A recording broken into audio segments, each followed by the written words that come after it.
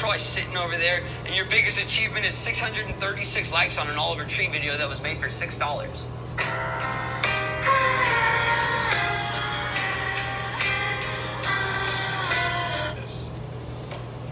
I eat a lot of spicy food. I'm letting you rely on that night, honestly.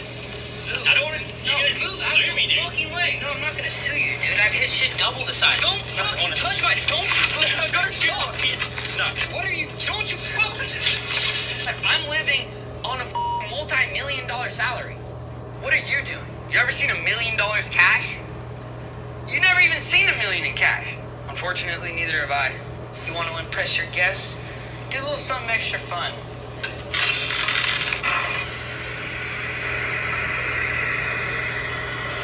Sloppy.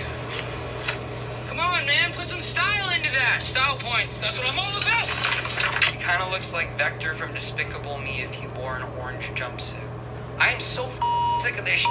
If one more troll tries to test me with this Vector, I will come and I will find your house and I will beat your ass, kid. When is it gonna be that Vector looks like Oliver Tree? I'm so sick of this. Shit. The fucking bearings were totally off, and when I went off the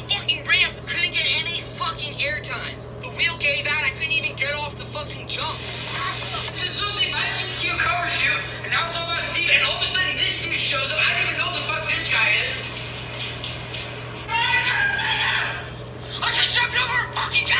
Oh, my Davy Album Ugly is Beautiful just came out, so I think we both know what you should do. Go give that thing a listen. Come on back, do a little shimmy shimmy. I'll be waiting right here. I'll just take a hit.